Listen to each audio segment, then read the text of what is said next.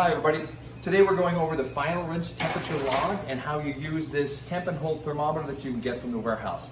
A reminder here, this is something that has to be logged daily. It is a requirement for the Spokane Regional Health District and you're gonna log that final rinse temperature at 160 degrees. You can order this waterproof thermometer from the warehouse and there's the warehouse order number and contact your supervisor if you have any question. Really, the operation is pretty simple. You press the start button here to turn on the thermometer. If you want to get the max hold temperature, you press and hold the button and you'll see that it shows that temperature, that's 175. You want that minimum temperature to be 160 degrees.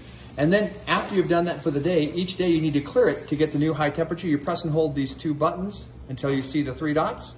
It's cleared and ready to go for the next day. So that's how you Find the max hold temperature, again by holding that for three seconds. And then the way you clear it, you hold both buttons for three seconds, three, see the three dots, and then you're ready to go for the next day.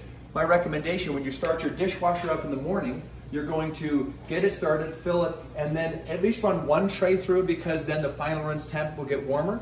And to get this thermometer really up to temperature well and not have it blow around your dishwasher, I recommend putting it down on your tray, covering it, and then running it through. And then when you run it through, you'll have a better temperature read on your thermometer.